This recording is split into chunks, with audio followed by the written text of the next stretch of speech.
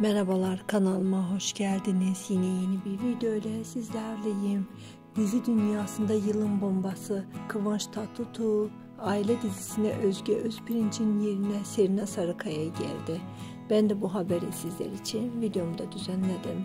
Evet videomuzun sonuna geldik. Sizlere iyi seyirler diliyorum. Hoşçakalın.